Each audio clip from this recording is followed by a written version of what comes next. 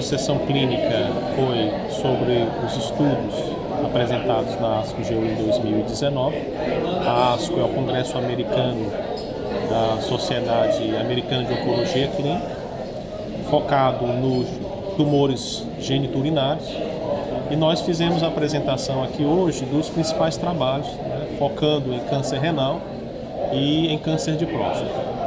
No caso do câncer renal, havia anteriormente os estudos apresentados ah, para câncer renal metastático com ipilimumab, nivolumab versus sunitinib e na ASCO-GU desse ano somaram-se os estudos de imunoterapia mais inibidor tirosina quinase, pembrolizumab com axitinib ou avelumab com axitinib.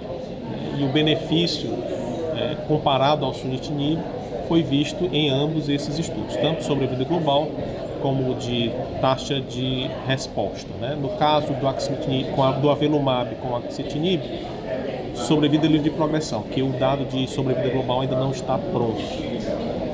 Apresentamos também né, o Aramis, que é um estudo, inclusive, que o hospital participou, em câncer de próstata refratário à castração não metastático, que mostrou superioridade dessa droga inovadora, que é a darolutamida, comparado ao placebo.